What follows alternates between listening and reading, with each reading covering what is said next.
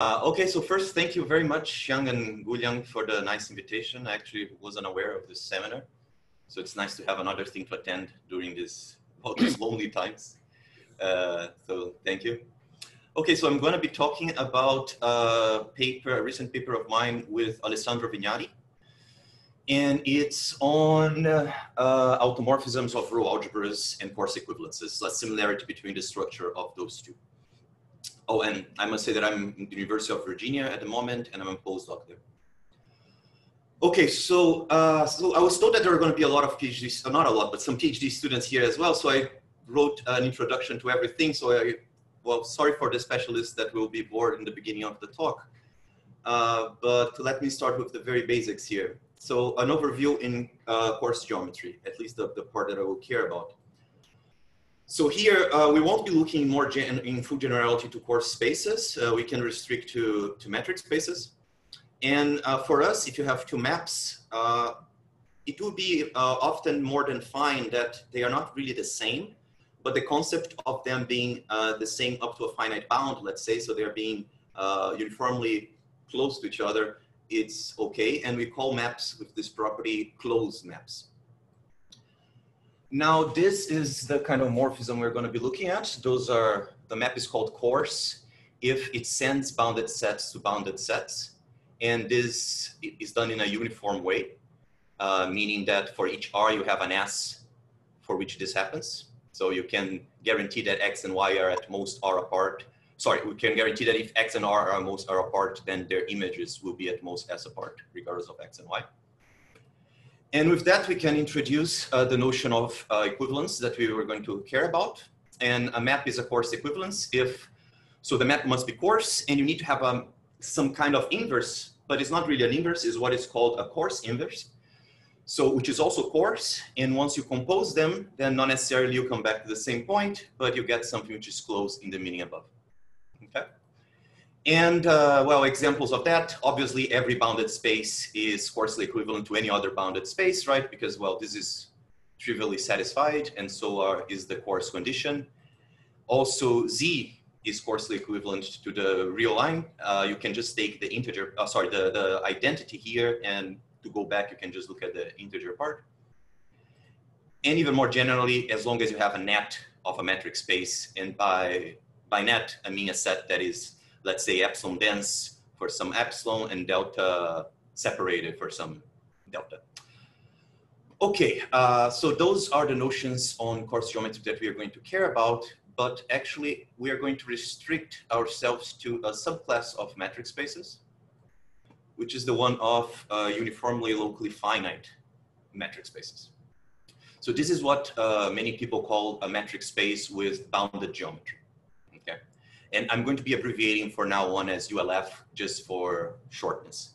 So this says that not only the balls the, of finite radius, right, uh, have finitely uh, many elements, but actually there is an upper bound that doesn't really depend on the centered center, but only on the radius of those balls. So just some, in case someone here is not very used to those, let me just give some simple examples here and some properties of those spaces. So if you have a finitely generated group, say that is generated by this S here, then you can look at the Cayley graph given by that, and you can endow this with the shortest path metric, and this becomes a uniformly locally finite metric space since S is finite. Another way of obtaining uh, examples of such spaces, you can just look at a sequence of uh, finite graphs let's say that this sequence, uh, each one of them is k regular, where this k does not really depend on the n. So it's a uniform uh, regularity thing here. Then you can uh, look at the disjoint union of all those x's. And inside of each one of the xn, you just want to preserve the metric you had already. But uh, from different coordinates, you just want to give like higher and higher jumps. Okay, so you're gluing x1, then you take a jump to glue x2, take an even larger jump, glue x3, and you keep on doing that.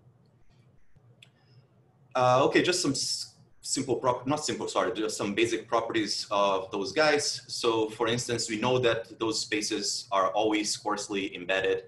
And by coarsely embedded, I mean that they're coarsely equivalent to a subset of some reflexive Banach space. Uh, and in case someone wants to know which one, this can be uh, an L2 sum of LPNs with the PNs approaching infinity. Uh, and if you want to embed into something even better, let's say a Hilbert space, then not all of them have this property, but as long as you have property A uh, or asymptotic finite dimension, right, uh, since it's more rigid, you're fine. But not all uh, uniformly finite metric spaces do that, right? You can get outside of this by looking at expanders. Okay, with this quick uh, sum up of the spaces we are going to look at, let me start talking about the Roe algebras. So let's fix a set, which for us is always going to be a, a metric space and a Hilbert space. So this uh, is just, we're looking at this infinite sum of the Hilbert space and making it into a Hilbert space. So more formally, we're just looking at uh, functions from x to h, which are square summable. And we're going to be using the following notation here. So if you have an x, which is an element of your metric space, and you have a vector, which is an element of your Hilbert space, this denotes the function that takes little x to this vector, and all the other guys, you take it to zero. Well, this is just the space of bounded uh, function uh, operators. And now uh, the first central uh, information here, uh, definition regarding Roe algebras so we are going to be looking at operators with finite propagation, right? So what does this mean? Instead of looking at this definition, let me just look at this picture here.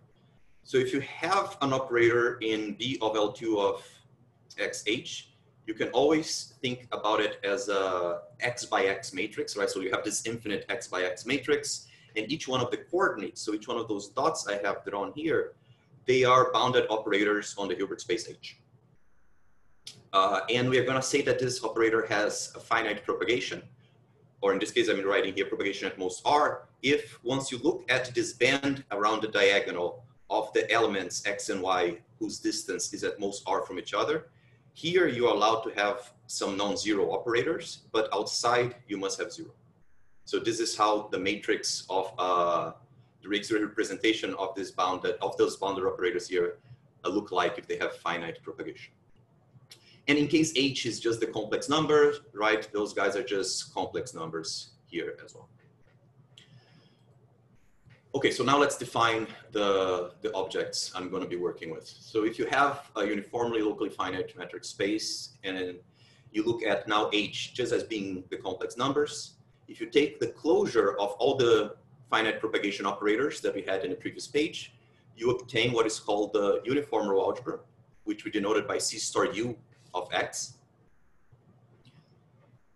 And if instead of C, you actually have all the, the you have literal two, so you have a separable infinite dimensional uh, Hilbert space, then if you look at the closure of the finite propagation operators with the extra hypothesis that they are also locally compact. And by locally compact, what I mean is if you think about this operator as this x by x matrix, uh, each one of the coordinates, uh, each one of those operators is a compact operator on H. So if you look at a closure of all of those, then you get the Roe algebra. Okay, so let's just take a look at some very simple properties of those spaces here. So if you look at L infinity of X, so here just bounded uh, functions from X to C, right? This can be uh, identified with the diagonal operators in a very standard way. So those are precisely the operators with uh, propagation zero. And obviously then they are inside of the, the Roe algebra, the uniform Roe algebra here. And the compact operators, the same thing, right? You can approximate compact operators even by finite uh, uh, operators with finite many coordinates only not being zero, so you get the same. And here's just the equivalent thing for the Roe algebra, but here instead of you, I cannot allow any operator. I can allow only the compact operators because it must be locally compact. And uh, sorry, those things here don't actually depend on the geometry of the space, right? This is true for any geometry you, you endow X with. Now, if you want something more specific, let's look at, I think, arguably the, the easiest example you can look at, right? So this is just the coarse disjoint union of singletons. I'm just gluing singletons together and jumping more and more and more, right? At least regarding the coarse type of this, this is the same as what I just described. So in this case, if you look at the matrix representation of an operator with finite propagation, since I'm having those big jumps, Sorry, I, I, have two cameras here, I'm confused. Uh, since I have those big jumps, uh, uh, finite propagation will mean that I am allowed to have anything in a finite square, but after a while, I must be in the diagonal, right? So you get those two things here. Okay, now uh, what were we looking at? So we were looking at uh, how the geometry of the metric space uh, and the structure of the, their Roe algebras or uniform Roe algebras interact with each other. So first thing to do, let's do the easy, the easy direction here. So if you have coarse, uh, coarsely equivalent spaces, do we have an isomorphism between the Roe algebra or the uniform Roe algebra? So for the uniform Roe algebra, the answer is very clearly not, right? Uh, coarse equivalence does not need to imply isomorphism between the uniform algebra. And the reason, well, very simple here, right? So for instance, here, if you have a space, I see some noise. Does anyone have a question? No, sorry, I, I heard something. I thought maybe someone was unmuting themselves. Um, so if you have a space with finitely many elements, well, in particular, this has bounded diameter, right? So those guys, the finite metric spaces, they are all coarsely equivalent to each other. But if you look at their uniform Roe algebra, again, since they have bounded diameter, every operator will have finite propagation. So you just have all the n by n matrices. And well, if n is different than m, then the spaces will not uh, have isomorphic uniform Roe algebras. But uh, this is not the only example, right? There are many examples. Let me just present an example with, with an infinite set, just for you not to think that this is just a, a pathological example. So for instance, if we look at here, our old friend, uh, the square numbers, and here you look at the square numbers plus their successors, so while this is the disjoint union of just singletons, this is the disjoint union of a metric space with two elements, right? Uh, and they are coarsely equivalent because, well, this X is actually a net of Y. So they, they are coarsely equivalent. However, once you look, if, if they were, if their uniform algebra were isomorphic, then one can see that uh, this isomorphism actually needs to be an isomorphism between the compact operators as well. So you could take the quotient and you would have to have an isomorphism as well. But the thing is that once you take this quotient here, you're just getting L infinity over C0. And when you get here, because you have those two uh, points with bounded uh, distance from each other appearing all over the tail of this space, you actually get those two by two matrices. Well, here you have something abelian, here you have something which isn't. Uh, you get a problem here but uh, okay, so but not all everything is lost. Uh, if you require this extra assumption that the coarse equivalence is actually a bijection, then everything is beautiful again, right? If you have a bijection, then you can define actually uh, this isometry between those spaces, the surjective isometry, just by sending this coordinate here, this member of the basis to this member of the basis there. This is, uh, since it's a bijection, this is, a, is an isometry of the two Hilbert spaces. And since F is coarse, you can actually show that if you look at this uh, conjugation here, you actually get an isomorphism between the uniform algebras. Okay, uh, and this construction here will be used uh, later in the talk a couple of times. But now, how is the Roe algebra setting? So the Roe algebra setting, uh, it's easier in one hand because actually we do have a coarse equivalence uh, sorry, we do have an isomorphism as long as you have a coarse equivalence. But this isomorphism isn't as nice as the one before. And let me just explain why. Because so how could you construct then an isomorphism starting from a coarse equivalence?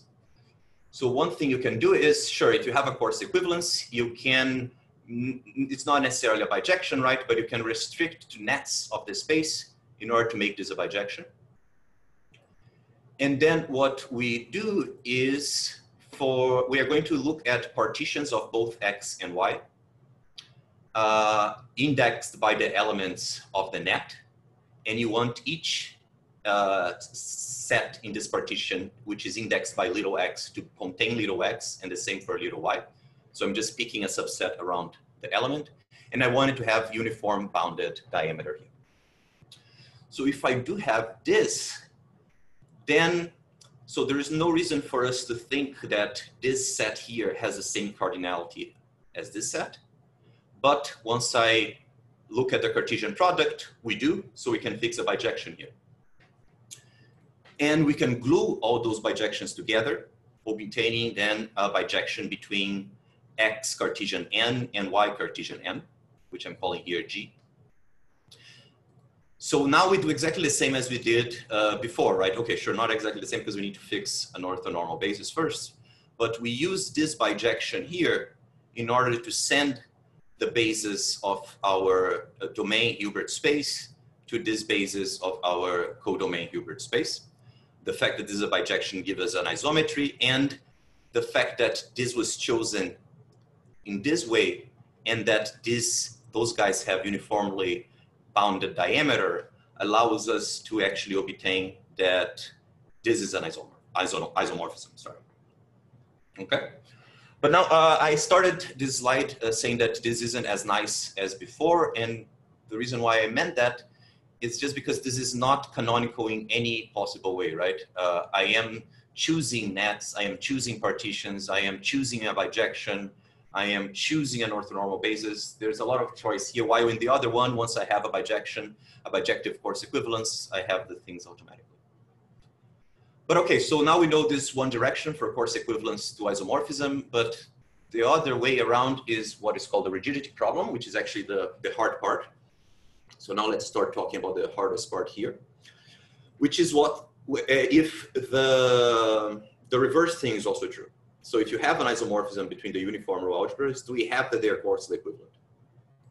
If we have an isomorphism between the uniform Roe algebra do we have that they are coarsely equivalent? Or moreover, do we have that they are even bijectively coarsely equivalent? So let me just summarize what is known here very quickly. So uh, we do know, for example, by a result of White and, Wild, uh, and Willett, that if the spaces have property A, then an isomorphism implies that they are bijectively coarse equivalent. Now, outside of the scope of property A, we can say, for example, that if it it is inside of the Hilbert space, which is something more general than property A, then we don't know if they're coarse, uh, bijectively, sorry, coarsely equivalent, but at least they are coarsely equivalent. And the same thing also holds for the uniform Roe, sorry, for the Roe algebra. If it is inside of the Hilbert space, we do have a coarse equivalence as well. And just a quick uh, remark here, I am writing this condition here, this geometric condition, just because it's an easy condition to write, but uh, with quotation marks, the, the correct notion actually. So what we are actually using is this more complicated thing, which I, I, won't get into it because we, we don't use it in this paper. But actually, as long as what we call the sparse subspaces having yielding only compact ghost projections in the Roe algebra, uh, this will be good enough for that, which is also more general than, than what I have written here. But, but anyway, for, for, this is fine. So uh, now we want to go deep into the rigidity question. And for that, I need to say a word on how the coarse, coarse equivalences are picked so I can move on to the structure of the spaces a little bit more. So a quick word on how those rigidity, sorry, sorry on how the coarse equivalences are picked. Uh, let's do what we're doing a couple of slides ago. So say you start with uh, uniform algebra there, and you have, so you start with two metric spaces, you have a bijective coarse equivalence between them. So again, I'm just looking at this uh, canonical unitary here, and I'm looking at this canonical isomorphism.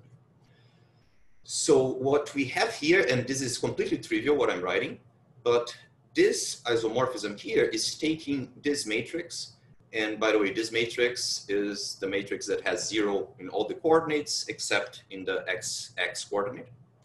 So this is taking this exactly to E of fx, ff, fx. So we have one here. But obviously, we, we, here is the other way around, right? The correct direction is we start with an isomorphism and we want to generate this F here. We shouldn't expect we're going to have some way of picking something that nice. But what is done is uh, we use the geometric conditions, being it property A or coarse amenability in the Hilbert space or the sparse subspaces yielding only compact ghost projections, yada, yada, yada. Um, we use the geometric condition to guarantee that if you have an isomorphism, then we must have this thing here being bounded above zero. And this is how we picked pick a map F. So for each X here, F will be picked in a way that uh, it chooses the Y that witnesses that this is bigger than, let's say, some delta. And I mean, then you need to prove that this map actually works. I'm not saying any word on why this map will be coarse, why this map will be expanding, or, or anything like that. But that's that's how the map is picked. Uh, and the reason I'm saying all of that is, okay, now let's revisit the rigidity question a little bit. So if you're just actually, if you only care about the rigidity question, uh, it would be possible that, let's say, I, I give you a, a, black box that solves the rigidity question, right? Any isomorphism, I put it in there, this box is split, it spits out a coarse equivalence. Uh, so it could be possible that this machinery that one could develop would, let's say, once you plug this, just the identity, it gives me minus z, right? The machinery could give you that, and there is absolutely no problem in that. It is a coarse equivalence, so that's fine but that's far from what what we are this far from what we are currently doing right? This the map that is being picked is not just an arbitrary coarse equivalence it's actually a coarse equivalence which is very related to the isomorphism right? This coarse equivalence here it, this wouldn't hold at all right? We would have just a beautiful zero here. Uh, so what else actually is happening here? So it seems like there is more than just um, just there is an isomorphism, so we can conclude there is a coarse equivalence. We have actually something stronger there. And that's the starting point of my work with Alessandro. Try to figure out what we have there. So what is this stronger thing? Okay, so uh, we are gonna do this for both the uniform Roe algebra and for the Roe algebra. So let me start with the uniform Roe algebra here.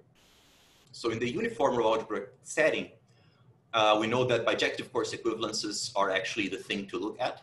So let's just call this this. Now, if you look at the close relation, which I defined in the first slide, this actually is an equivalence relation on the set.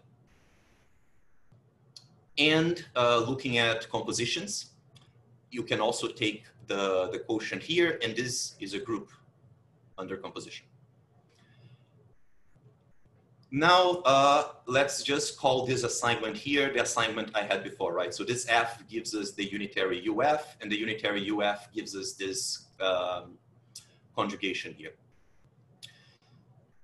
So actually, it, this construction is nice in a sense that if you take maps which were close to each other, you're going to be obtaining uh, isomorphisms which are which are the same modular unitary. So they are unitarily equivalent to each other. And this is an injective homomorphism, but the question is, when is this actually an isomorphism? When is this map surjective? So for the uniform Roe algebra, it was actually quite uh, simple to solve this with some results in the literature, at least for property A. So we do know that if the space has property A, this map is surjective, which is the content of this, this theorem here, because the other assumptions for an isomorphism uh, are already clear.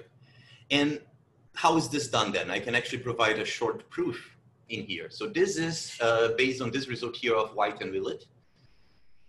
Uh, and I actually now I'm not certain if this is the year I saw in the arXiv or the it was published. So Rufus, I'm sorry if this is wrong, but one of them. Uh, so if you have, uh, the result says that if you have a metric space and uniformly locally finite with property A, and you have an automorphism of this uniform Roe algebra, then this automorphism may be taking this Cartan masa somewhere else, but you can bring it back to, let's say, its original place by uh, conjugating it by a unitary in the uniform Roe algebra. And that's the important thing. Uh, you can always just change this to bring it back to L infinity, but this element here may be outside of the uniform Roe algebra. The property A is what uh, makes us able to say that this is actually inside of the uniform algebra. So with that, uh, let me just give a quick sketch of the proof of the thing in the previous page, not of the theorem of White and Willett, of the, the theorem in the previous page, that that assignment was an isomorphism. So we want to show its trajective. Uh, we start by looking at an automorphism of the uniform algebra and applying the result of White and Willett. We can actually find this unitary, which brings the L infinity back to the L infinity. Okay, good. Now we call this composition here psi. This psi is obviously equivalent to phi because, well, that's what the theorem gives us. And uh, now using a result of Špakula and Willett, we know that actually all isomorphisms are spatially implemented. Now, not, not necessarily by someone in the uniform algebra, by, by some operator. So let's just call this psi. Uh, let's just uh, find the V that does that for this psi. Now we have the following here. So we have this psi which fix L infinity. So now it's where I'm not going to give many details, but it is not complicated to see that this V in the previous line must be of the, this form here. So it must be of the form that for every X, it's actually picking some other X in a bijective coarsely equivalent way. And here, sure, you allow some multiplication by, let's say, some sign, right? Some, some complex number of uh, absolute value one. But it must be of this type here. But then what you do is what? We now look at this F. This F not only is related to this V, but this F gives us this UF that we had before, which is the same as this V, but forget about this, this lambda X. This lambda X is just one for all X. So now when we look at this composition, you have someone which is in the uniform Roe algebra. So you have that those maps here are equivalent, and then we get that. So this is uh, how we can get uh, surjectivity for the uniform Roe algebra. But now what about what happens in the Roe algebra case? So for the Roe algebra, let's start all over again. So we need to call this space something, right? So let's look at all the coarse equivalences. So again, we have a, a, an equivalence relation. Now, so the bijective coarse equivalence, they were a group themselves. Uh, but here, actually, this isn't a group. Um, for, for instance, what is the inverse of an element, right? Sure, there is the coarse inverse, but this coarse inverse is by no means um, unique or anything, right? So this is not a group per se, but once you look at the quotient by the relation of closeness, you do get a group. So we want to do to, to look now at the map I had described before. And now this is that map that actually has a lot of choice. So uh, maybe it's misleading that I have just phi of f. I'm actually, I look at f, I look at uh, net of the two spaces, right? I look at a partition, I choose a basis. So there, there are more variables involved here. But let's look at this map here. And we would like to be able to quotient by the closest relation and see what we have. But the first problem we have is if you want to quotient by the inner automorphisms of the Roe algebra, we start having a problem because, well, this guy here is not unit, all right?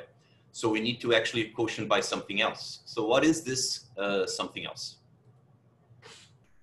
So this something else uh, comes from, it's exactly the same definition of the Roe algebra, but let's forget local compacity, okay?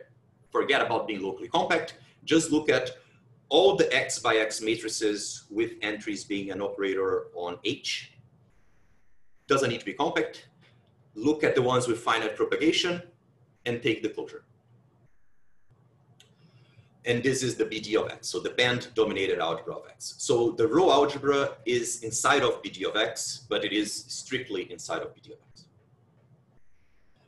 So what we can show, which is something that looks, uh, I mean, looks very intuitive, but actually took took us uh, some thinking to actually get a, a formal proof of that. Uh, we can show that this is the multiplier algebra of the Roe algebra.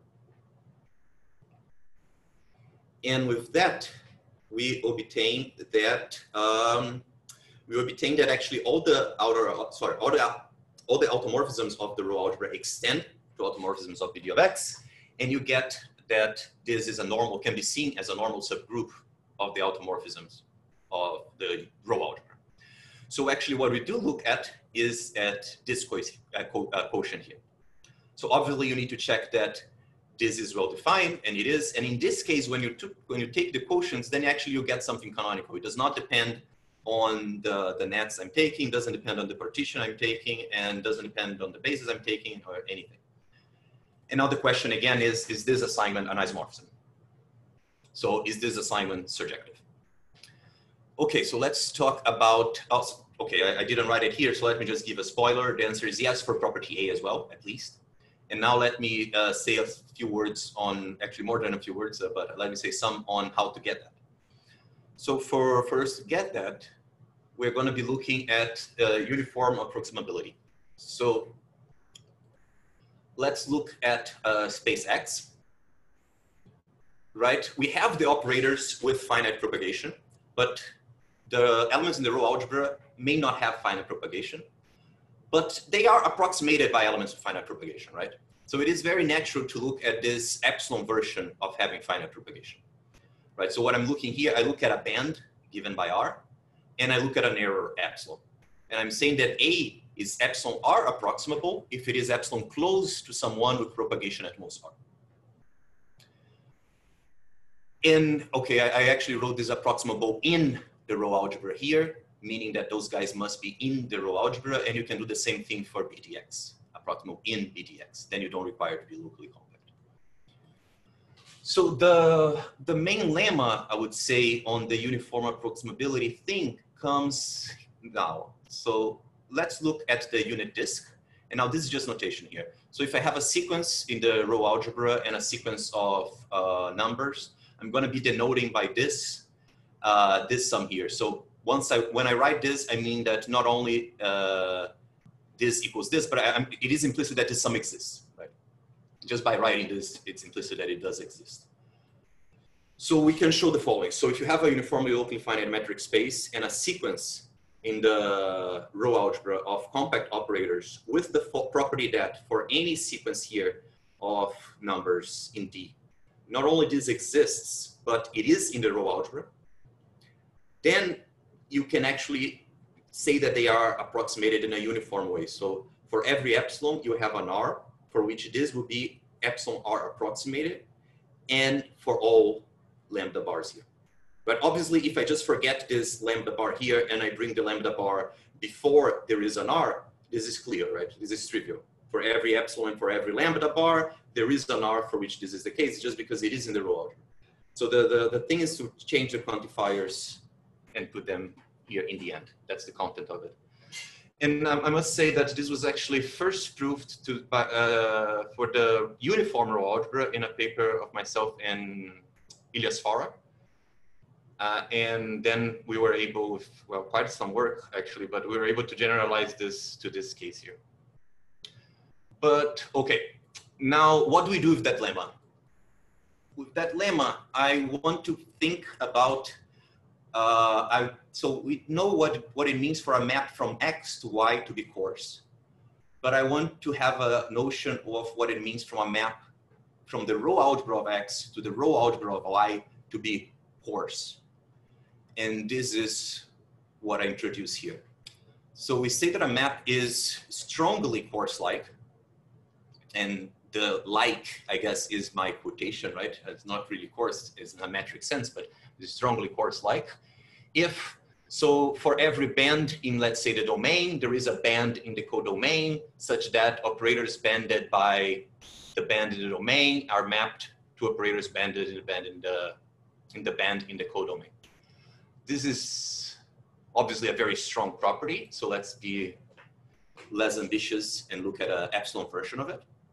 So here we have our epsilon version, which is for every band and for every error, you have a band in the codomain. And I am sending R banded operators to S banded operators up to an epsilon. Okay, and I need to restrict to contractions here, otherwise I can just shrink and I mean, I, I can, if I don't restrict to contractions, I will get strong coarse likeness automatically. So I need to restrict to just, just talking about the studio contractions. And you can do the same thing for BD of X and BD of Y. So this was first introduced uh, to the uniform Roe algebra. And in the uniform Roe algebra, uh, we were able to obtain that generally you almost have this in reasonable ways. In every, every reasonable map, let's say we have that. So as long as the, it's a linear operator, which is strongly continuous, this is satisfied automatically. And by the way, strong continuity here is necessary. You could construct maps which aren't embeddings even, which aren't strongly continuous uh, by looking at ultrafilters and, and so on. So uh, we wanted to actually generalize this to the Roe algebra case. But this is actually very easy to see that cannot be done, not in full generality, but it will be done in, in a way that is good enough for us. But let me just say why this cannot be done in full generality. So why can't this be done in full generality? Let me just give a very quick, a quick uh, counterexample here. So let's just look at a space that has only one element, okay? And let's look at y being all the natural numbers. And we have uh, just fix some basis for H. So in this case, well, this is just a very fancy way of writing H. And the Roe algebra here, we only have one entry right in our matrices. So we just have all the compact operators there. So now what we do, what this map here is doing is it's taking this basis of H and it is, instead of just sending to the basis of H, I wanna be sending to the basis in Y right? I am looking at here at the delta n, sending this epsilon, sorry, this en to this delta n, and I'm just fixing here one coordinate in the basis of h. So I'm taking this coordinate here where I have all the compacts, and I'm spreading it out all through our, uh, all through y. So here, if you look now at this adjoint here, this is, well, this is not an isomorphism, but that's an isometric embedding. And uh, it takes the compacts, in this case it's just the compacts, to the compacts, right? It's spatially implemented. And therefore, it is actually an embedding of the Roe algebra of X inside of the Roe algebra of Y. Is strongly continuous, everything, but it's very far from being coarse-like. Okay, so then uh, maybe we were done and there's nothing to do in this case, right? But no, actually, it happens that actually this thing here is the only problem we may have in a sense, obviously, right? But that's the only problem we may have. And in a sense, what I mean is this. So as long as coordinate-wise, those maps are coarse, this map is coarse-like, we're good to go. So as long as once you look at a finite set, you look at this corner here, and in here, this restriction is coarse-like, then it's fine. We can actually obtain that the map is coarse-like in the entire space. Okay, so a little bit more on this uniform approximability things. So you could also look at the same thing here we had, but now for the band uh, dominated algebra, right? So first thing, let me just uh, re recall the example from the previous page. Okay, I'm just really rewriting the example from the previous page here, nothing new. And in this case, this actually isn't a counterexample because the BD of X here actually is all the bounded operators on H so we cannot guarantee that this is going to be inside of Y. Actually, just won't be inside of Y. So it is not a counterexample to the problem. And the reason why this isn't a counterexample is because actually you can't. At least if you assume that, and here unfortunately we had to add this condition. I don't know if it's not true, uh, if we could remove it, but uh, at least our proof requires star homomorphism, while the other ones, right, they're just linear operators. But here with this extra condition of star homomorphism, we actually do obtain that strongly continuous compact reserving maps are uh, coarse-like. Okay, uh, so that's good and interesting, uh, but for the Roe algebra, can we say something else? Yes. Uh, we can say that sure, maybe not an maybe embeddings will not be coarse-like, but if you have actually an isomorphism, then you are forced to be coarse-like once again. Okay, so we do have this very nice property here of isomorphisms. And now what we do is we look at White and Willett's result and we try to uh, create a Roe algebra version of it. So let me just introduce some notation here. So first, given an orthonormal basis here, I'm going to be denoting this C0 of this basis. Those are just the bounded operators uh, such that with respect to this basis, I'm just multiplying by an element of C0. And what we can say is, so if you look at an arbitrary isomorphism between uniform algebras, and now we need property A. By the way, I wasn't, I didn't emphasize, but all the uniform approximability results have nothing to do with property A. They work for any space. Now is where property A starts being necessary. So if you have an arbitrary isomorphism, sure, but from the previous result, we know that it is uh, coarse-like. But actually, we can find a unitary in the multiplier algebra of the Roe algebra, which makes it strongly coarse-like. And moreover, we can do that in a way that regardless of the basis you have here, you can be sending this L infinity to this L infinity here, just as White and Willett's result had. Okay, so now the goal is to use that uh, to finish the, the problem. And I'm not going to say any word on how this is proven. This takes several, several pages, but uh, so I'm just going to say that we can get that.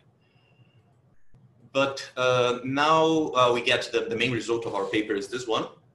You to have this very strong relation between the coarse equivalences and the outer automorphisms of the Roe algebra. And the proof is actually very simple to the other one once you have all this machinery, right? So here's just a recap. I am letting this assignment that takes F goes to UG, right? UG was this, uh, G was the bijection between Xn and X and Yn that gives us this unitary. And then you go to F, uh, to phi F to get the isomorphism. And then this T is this map we have here. So similarly as in the uniform algebra case, if you have an automorphism, we use the previous theorem to, let's say, fix it and take L infinity to L infinity. Now you look at this new automorphism here. We call, we, we find the appropriate unitary which implements it. And again, now is the, the hand waving part, but by the construction of V, you can actually guarantee that this will be the case. And then when you look at the of C, so the isomorphism given by W, and you look at phi F, so the isomorphism given by UG, you have this relation here, and you're done. Okay. Okay, so this is our main uh, result. And now in the four minutes here I have left, uh, let me just mention some applications uh, that we have for that. So unfortunately, the applications are a little bit frustrating in a sense that uh, you guys are going to see in a second, but either it is a very simple application or it is a very deep result that someone else computed. so co computing, uh, computing this group here is incredibly hard, at least for, for my simple mind. Uh, and even the bijection coarse equivalences is a, is a hard group to compute, modulo, modulo the relation of closeness. But we do have some interesting examples here. So uh, let, uh, let me talk about them a little bit. So, okay, so let's start with the uniform algebra. So first, let's look at the natural numbers. If you look at the natural numbers, it's not complicated to just by hands compute that you only have uh, the, the equivalence class of the identity here. Anything else either won't be coarse or won't be bijection or something else. So you only have the trivial group, and well, n definitely has property A, right? So you get for free that automorphisms of this guy here are all inner. Now let's look at two copies of m. So let's look at z. Uh, in this case, now you have not only the identity, right, but you can also flip. You have minus the identity, and actually those are all the the, the bijective coarse equivalences we have modulo closeness. So this would be the outer orthogonal group of the uniform algebra of Z as well. And if we look here at our, let's say our old friend from slides ago, if you look at the coarse disjoint union of singletons, this is also very simple because any bijection will be automatically a coarse equivalence in this case. So you just have the permutation group in the naturals. So you, once you mod out, actually you just have permutations which coincide after after a while. But even for those things here, uh, I'm already not certain how exactly it looks like. At, least not a beautiful formula for it, right? You can you can get, get some conditions and some classes, but it just gets more complicated. So I, even for two, I, I would be interested in knowing a very precise, concrete uh, form for that. Okay, now for the Roe algebra, uh, then it's even harder. Um, not even for Z, at least if someone knows, actually, I would be very interested, but I couldn't find anywhere where this is specifically computed. I don't think it is precisely computed what the coarse group would be in this case. But we do know some things which are inside actually. There are some nice papers which guarantee us that some nice things are inside. So for instance, we do know that Thompson's uh, group F is in there. We do know that the group, uh, the, the, free group with uh, the continuum of generators is also in there. Uh, oh, and by the way, if you guys are paying attention, you guys can see that actually this follows from the easy part of the theorem, not really the part uh, of the surjectivity, right? At least not this part, but I mean the consequence to the outer automorphisms of the uniform algebra. But it actually doesn't follow from the, the, the interesting part. If you want to actually have a complete computation though, there are uh, a couple of examples, and I'm mentioning two here, which are very, very deep papers. Uh, so here, for example, if you look at a natural number and you look at the n-adic rationals, and you let this be the solvable Baumslag uh, Solitar group. So this is just a group generated by two elements here with this relation. Then uh, Farb and Mosher computed that this group actually is isomorphic to. So what do I mean by this? this those are the bi-Lipschitz equivalences of R. So bijections, which are Lipschitz, and the inverse is Lipschitz as well. And this cross the bi-Lipschitz equivalences of um, the n-adic uh, rationals. And another example we have here, uh, if you look at the lamplighter given by a finite, a finite group in Z, so this is F where ref product with Z, then you do have uh, this isomorphism here as well with the semi-direct product with uh, Z2. And that's it. Thank you very much.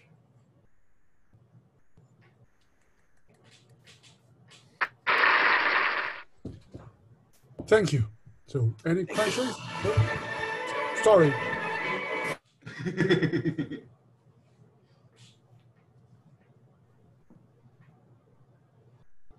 Sorry. Don't worry. It was a nice Any questions or comments?